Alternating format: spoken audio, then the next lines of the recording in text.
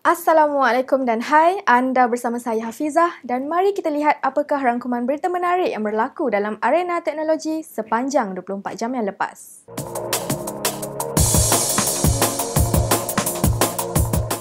Oppo Malaysia bakal melancarkan telefon pintar terbaru iaitu Oppo A9 2020.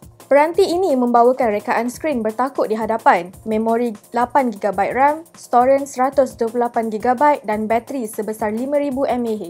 Untuk rakaman gambar, ia menyertakan 4 kamera belakang dengan kamera utama 48MP. Di Malaysia, ia bakal diperkenalkan pada 18 September 2019. Selain itu, Vivo V17 Pro bakal ditawarkan pada 20 September untuk pasaran India. Peranti ini menampilkan empat kamera utama pada bahagian belakang dan dua kamera swafoto dengan mekanisme pop night. Buat masa ini, harga jualan peranti masih belum diketahui. Samsung telah mula menawarkan Samsung Play Galaxy Link kepada pengguna. Ia juga turut menyokong input berasaskan alat kawalan Bluetooth bagi memudahkan pengguna untuk memainkan permainan video pada skrin Galaxy Note 10.